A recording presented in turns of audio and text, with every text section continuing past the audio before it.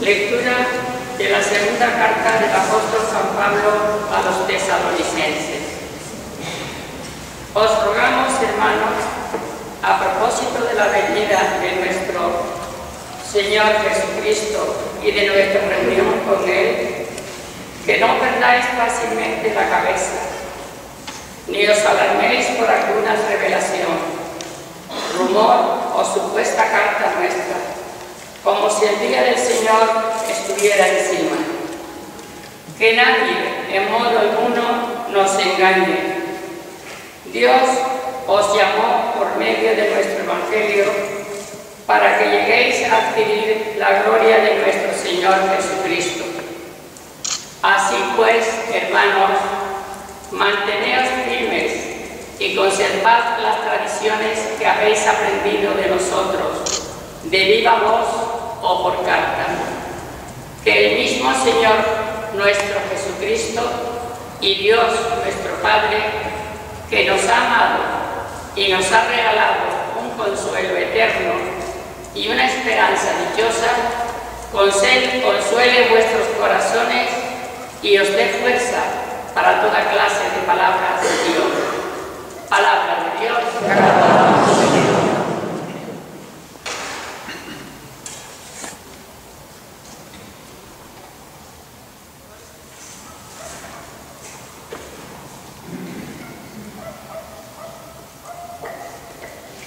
Salmo responsorial.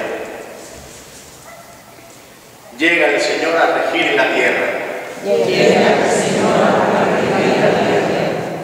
Decida los pueblos, el Señor es rey. Él afianzó el orden y no se moverá. Él gobierna a los pueblos rectamente. Llega el Señor a regir la tierra. Alegres el cielo, goce la tierra, retumbe el mar cuanto lo llena. Vitoreen los campos y cuanto hay en ellos. Llega el Señor a la tierra. Aclamen los árboles del bosque, delante del Señor, que ya llega, ya llega a regir la tierra. Regirá el orbe con justicia y los pueblos con fidelidad. Llega el Señor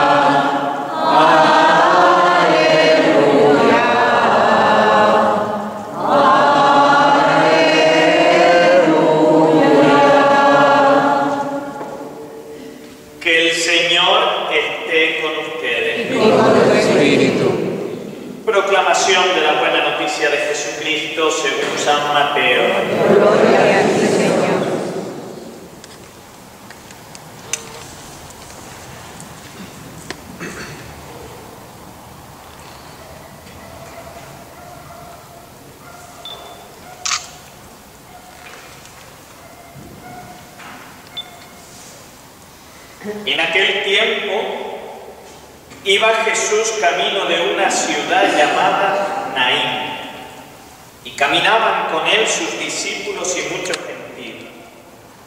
Cuando se acercaba a la puerta de la ciudad resultó que sacaban a enterrar a un muerto, hijo único de su madre, que era viuda, y un gentío considerable de la ciudad lo acompañaba.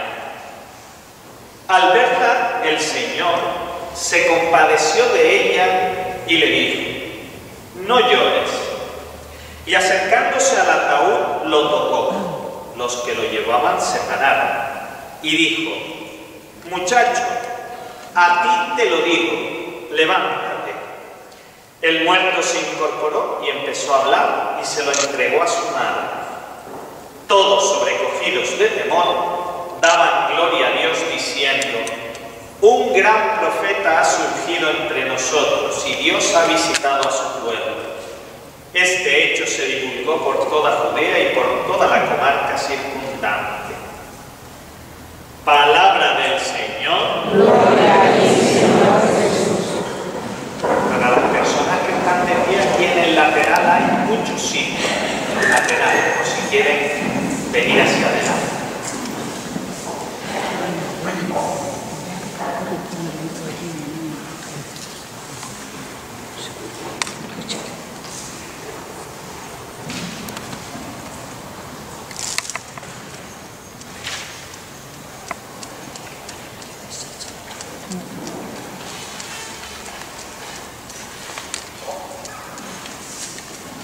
ya lo habíamos descubierto, quizás hace mucho tiempo, pero ayer recordábamos y revivíamos un gesto corporal sublime, que hay que hacerlo única y ante aquel ser que estés completamente seguro que no te va a traicionar, que no te va a abandonar, que te amará siempre, aun cuando tú no lo merezcas. Y ese ser es Dios. Y ese gesto sublime es el arrodillarse. Y ayer nos arrodillábamos ante el Cristo de nuestra fe. Ayer nos arrodillábamos ante Dios. Y yo les decía a ustedes que cada vez que puedan se arrodillen ante el Señor, ante Cristo. ¿Es la única postura posible? No, pero es la más sublime. Recuerdo que les encargaba ayer, pero no para un día, sino para cuando ustedes quieran. Cuando haya esos momentos en que uno no sabe qué decir y qué hacer. En esos momentos les decía yo a ustedes, busquen una cruz, un crucifijo. Llevamos en el corazón la imagen de Cristo crucificado, pues también valdría, con lo cual lo podrías hacer hasta en el monte, en la cumbre o en el desierto. Cuando no sepas otra cosa que hacer, arrodíllate para orar a Dios. Y orábamos de la mano del centurión, que fue un personaje que entró ayer en nuestra vida. Arrodillábamos, arrodillados, rezábamos, Señor, no soy digno de que entres en mi casa. Pero una palabra tuya bastará para sanar. Hoy, hermanos, también visualmente y con mucha humildad, y en este recogimiento y en este silencio, podemos realizar un gesto que es cuando estemos delante de Dios, descalzarnos. Descalzarnos para que nuestro cuerpo sienta que está en tierra sagrada. Y descalzados nuestros pies y despojados nuestro corazón, podemos orar al Cristo que nos acompaña diciendo, Señor, aquí están mis manos, llénalas de buenas obras. Señor, aquí están mis pies descalzos, hazlos caminar siempre hacia aquellos que más necesitan de mi amor y de mi presencia. Aquí están mis labios, Señor, Bendícelos para que nunca salgan de ellos malas palabras y se conviertan en labios expertos en bendecir. Y así podría recorrerte mi cuerpo entero, Señor. Pero déjame que sintetice todo en este lugar. Aquí tienes, Señor, mi corazón. Enséñame a amar como tú amaste. Con tus palabras, con tu manera de relacionarte con Dios, con tu vida, con tu historia, reza a Dios. Lo que le reces, no idénticas a estas palabras, lo que le reces será recogido por Dios. No se te olvide nunca, porque cualquier oración que nace del alma, dirigida a Jesús, Dios jamás la olvidará. Y hoy, en nuestro camino hacia el descubrimiento, no desde la mente, desde las ideas, que ya bastantes foros tenemos en nuestro mundo que nos llenan la cabeza de ideas, no. Venimos a la Eucaristía, venimos a esta novena, venimos a ponernos delante de Dios para que nos llene el corazón y lo cubra con el amor que solo Dios sabe cubrir. Pues avanzamos un poco más, hermanos, en esta catequesis hermosa que nos regala la Iglesia. Ya el domingo descubríamos a un personaje que es amigo nuestro ya, ¿no? ¿Sí o no? Pedro. Qué bueno era Pedro. Y somos Pedro todos, en nuestra fase de de Jesús. Cabezones a veces diciendo, Señor, no te pasará eso a ti. Y el Señor lo llama Satanás. Pero en nuestro caminar hacia Dios somos Pedro también. Cuando ante Él le decimos, maravilla, lo que dice Pedro, tras la resurrección, Señor, ¿qué quieres que te diga? Si tú lo sabes todo, si tú sabes que te amo. ¿Para qué, quiere que te, ¿Para qué quieres que te cuente nada? Si tú lo sabes todo. Y Pedro, para siempre, está en nuestro camino de fe.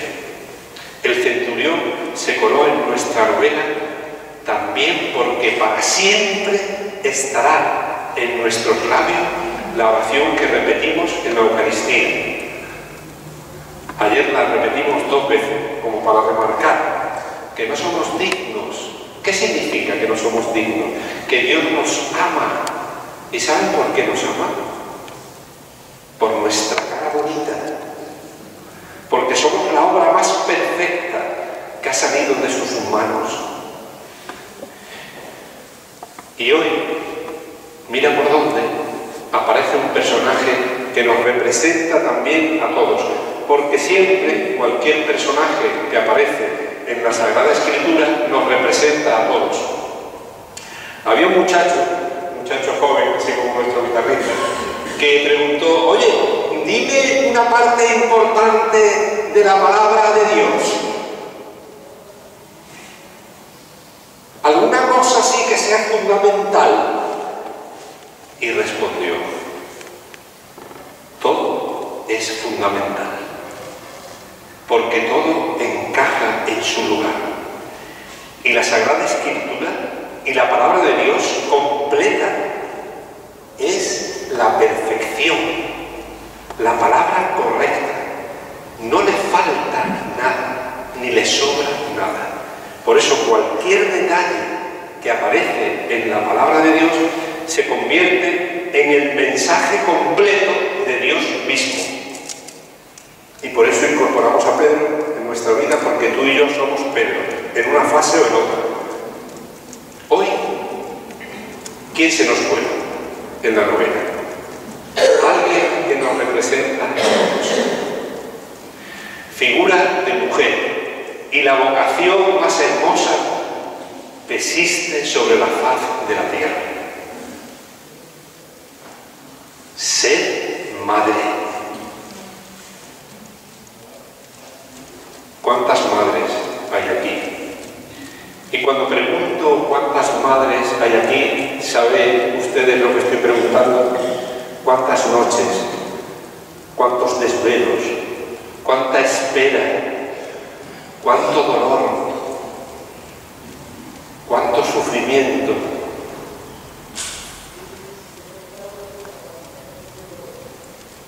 ¿Cuánto de pasión? ¿Cuánto de amor? Porque si hay un ser que se parezca en este mundo a Dios, a cómo goza, esa es una madre. Y ojalá todos, hombres y mujeres, seglares, laicos, casados, viudos, solteras, solteros, sacerdotes, curas, misioneros, ojalá todos seamos madre y aprendamos de ustedes, esas madres que nunca salen en los periódicos y que dan ejemplo maravilloso de entrega y de amor.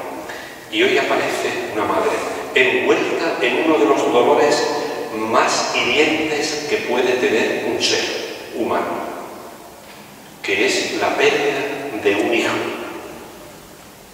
Y hoy el Señor, desde la cruz, aquí, ¿entiende?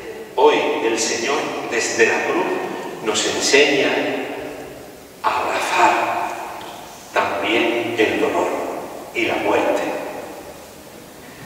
Hoy el Señor nos invita a no poner palabras bonitas, a no poner vendas, a no poner ningún mensaje engañoso ante lo que le pertenece a la vida. Y a la vida le pertenece el dolor, el sufrimiento, la muerte. Y ante solo podemos hacer lo que nos enseña el Maestro, abrazar con ternura, abrazar con esperanza. Eso nos lo enseñan muchas madres. Como sacerdotes, estoy seguro que los dos que tienen ustedes aquí delante Hemos tenido delante corazones rotos, vidas tronchadas ante el sufrimiento de un ser querido que se ha ido. ¿Y qué hacemos ante ese dolor? Escuchar, abrazar y sobre todo, como yo recomendé a un grupo de chavales, mire qué edad voy a poner, un grupo de chavales de 15 años que perdieron a un amigo la primera vez que se enfrentaron a la muerte. Y como tenían confianza con el padrino, Padre, ¿qué hacemos? ¿Sabéis lo que les recomendé para que no se les olvidara nunca? Id allí, id al sanatorio, id donde está su madre, id donde están los amigos, id donde está la familia, y no digáis nada simplemente estar allí. Porque vuestra presencia, sin que vosotros lo percibáis, será consuelo divino. ¿Por qué? Porque hay dolores y sufrimientos ante los que no tenemos palabras, ni tenemos respuesta. Tenemos preguntas, exactamente. Vámonos al Calvario, vámonos al cruz para aprender esta catequesis. Vamos a contemplar al Hijo de Dios, Vamos a mirar con nuestros ojos al crucificado. Ayer hablábamos de la cruz, porque la cruz, sí, la cruz es la obra perfecta de Dios. Y cuando edificas sin cruz, y cuando amas sin cruz, y cuando evangelizas sin cruz, cuando edificas sin cruz, no eres discípulo de Jesús. Es decir, cuando vas buscando solamente el éxito, estás lejos de Dios. Ayer decíamos que Dios no quiere éxito, que quiere que seas fiel en medio de todo lo que te toca vivir. Pues decíamos y recordamos hoy que la cruz es la obra perfecta de Dios. Fíjate si es perfecta, es el culmen, es lo máximo ya, donde terminó Jesús su obra, que hay una frase dicha en el Calvario y en el trono de la cruz, en la que una de las siete palabras que pronuncia Jesús dice, todo está cumplido. La cruz es el culmen de la obra de Dios. Y cuando buscamos atajos para amar a Dios, estamos siendo infieles. Porque parte de nuestra vida es abrazar también cualquier dolor que venga. Y el Señor llena de sentido nuestro dolor desde la cruz. Y el Señor llena de silencio nuestras preguntas desde la cruz. Porque no hay ningún otro personaje que nos haya enseñado lo que esta noche vamos a recordar. Para dar sentido, por favor, piensa en algún dolor, pero fuerte, que hayas tenido. Porque hay muchos dolores en nuestra vida.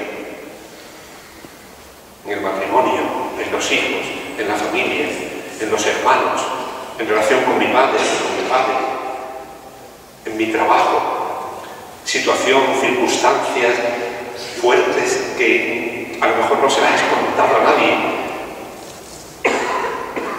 ¿Qué sale de los labios? ¿Qué sale dirigiéndose a Dios en esa situación? Sale una pregunta.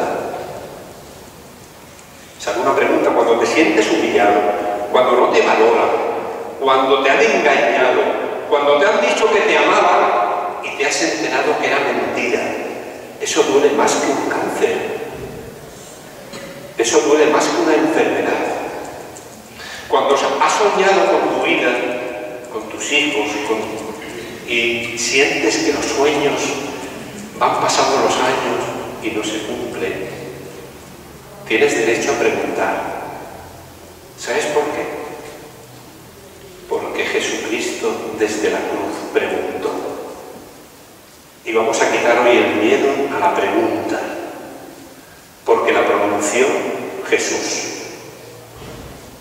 Señor, ¿por qué me tiene que pasar a mí esto? Señor, ¿por qué paso yo por esta situación? Señor, que he estado despistado y he cometido algún pecado grave y tú me estás castigando.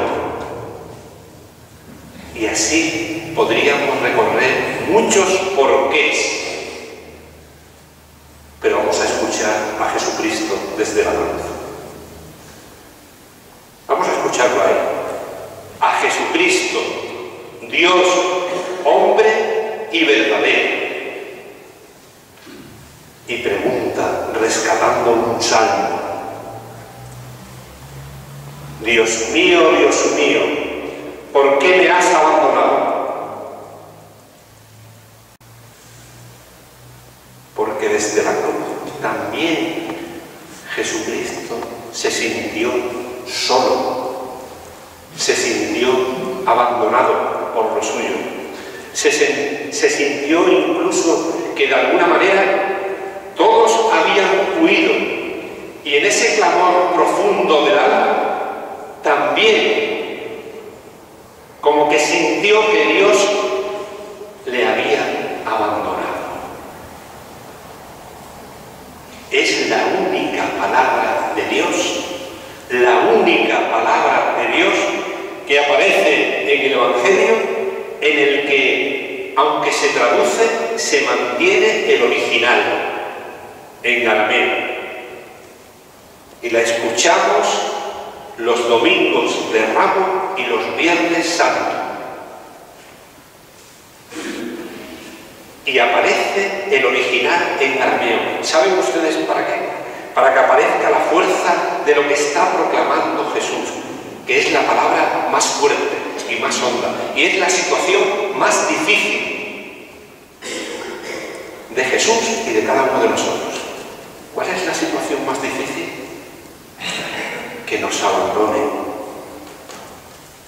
que me sienta solo, que me sienta discriminado, que sienta que nadie me quiere, que sienta que mis amigos, los que decían que estarían conmigo en la salud y en la enfermedad, han huido. Ese es el dolor profundo en el que el Señor, desde la cruz, lo pone en nuestros labios para que no te avergüences de hacerle esa pregunta a Dios. Porque quien hace esa esa pregunta es porque cree en Dios, porque se siente sostenido en Dios, pero no tiene consuelo el alma. Hay una confesión que hice muy fuerte y muy dura de una madre y vino a confesarse a los tres días. Había perdido a su hijo en accidente de tráfico, en una situación muy dramática que no viene al cuento. Pero su hijo murió la víspera en que su hija mayor se casaba. Y a los tres días vino a confesarse. Y puedo públicamente decir en qué consistió la confesión de aquella madre rota. Vino a pedirle a Dios porque le había insultado y porque le había dicho que no lo quería ya ni ver. Y yo le dije, corta te quedaste. Claro que sí. Imitaste a Jesucristo en la cruz, cuando parecía que no había solución para nada y todo se hundía. Y Jesús clamó, Dios mío, Dios mío, ¿por qué me has abandonado? Esa situación vital que es el abandono. Y desde ahí, desde esa situación profunda, aquella mujer y hoy a todos los que estamos aquí, el Señor nos recuerda lo que decíamos y recordábamos ayer de Santa Rosa de Lima. ¿Recuerdan? No hay forma de llegar al cielo si no es por la cruz y a través del crucificado. Porque la muerte, el sufrimiento, el dolor es parte de la vida. Podríamos decirle al Señor, Señor, ¿por qué no has pensado esto de otra manera? No lo sabemos. Solo confiamos en que si ahí está el dolor y el dolor es capaz de llenarse de esperanza, alguna vez se nos revelará ya en el cielo el porqué y la respuesta a todos los porqués. Porque a continuación el Maestro, el Señor, desde la cruz, invitando a Pedro en su fase final, le dice a Dios, Padre, en tus manos espíritu. Cuando estás en la noche más oscura, la oración que debes hacer simplemente es, Señor, miren qué bonito, Señor, no me sueltes. Esa es la traducción de la palabra en la cruz del Maestro. En tus manos encomiendo mi espíritu. Que traducida esta noche, Señor, no me sueltes. Pase lo que pase. Tenga respuestas o no tenga respuestas. No me sueltes. Que en medio de los sufrimientos, en medio también de todo el dolor, sepamos saber que Dios está ahí. Y sabiendo que Dios está ahí, por favor, pide la fe para descubrir que tu dolor no es el final. Piensa en el dolor más fuerte que pueda venir o sobrevenir a tu vida. No es el final.